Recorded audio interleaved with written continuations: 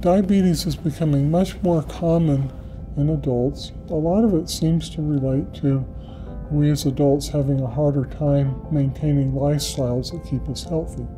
So, diabetes is one of those conditions where there are genetic influences, there's some things that are beyond our control, but there's other things that we can do to help prevent diabetes and help the treatment be more effective when we get it. Nobody wants to be told you're diabetic. That's you always fear that, uh, and and to hear it is, is not fun.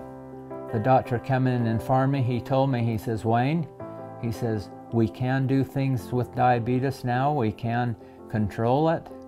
But he says this first year is going to be the important, important factor on how the outcome will be. I thought to myself, on the 18th of May, this isn't going to whip me. I'm going to do something about it. So right then we started eating right, and I did start exercising, and boy, did I ever exercise. You know, physicians, we're inherently good people. We inherently want what's best for our patients. But at the same time, we, it has to be something that's efficient and, and, and we feel that will actually work. So it's about small changes in diet and exercise um, and that constant feedback. How did it go? If it didn't go well, what could we strategize? What could we do differently? So the most important team member in taking care of someone with diabetes is the patient.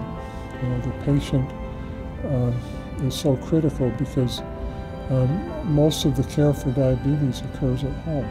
Since this, I, I've got my life back. I, I feel good. I want to I wanna accomplish things. I want to do things. I want to go see things. It's, it's a life-changing. It has not been easy.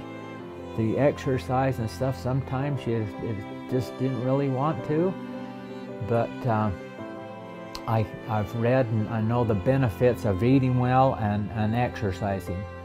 And now it's, it's a blessing to get up and, and get to go do it. I, I look forward to it.